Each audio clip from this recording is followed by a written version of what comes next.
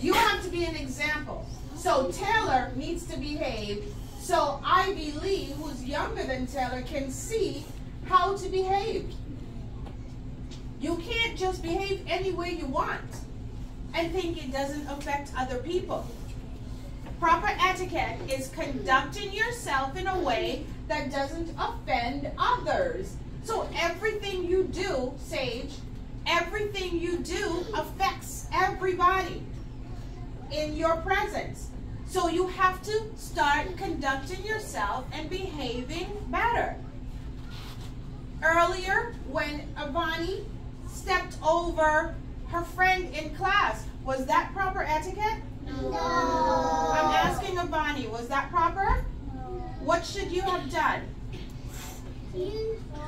What should you have done? You should have said, excuse me, wait for her to move, and then you go forward. You don't just step over someone. That's Christina! rude. You have to think about, shh, I release it. You have to think about your behavior and what you say before you do and say it.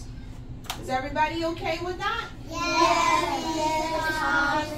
And you have to remember, you don't sing your words, you Yes, just Miss you say your words. Okay? Yes.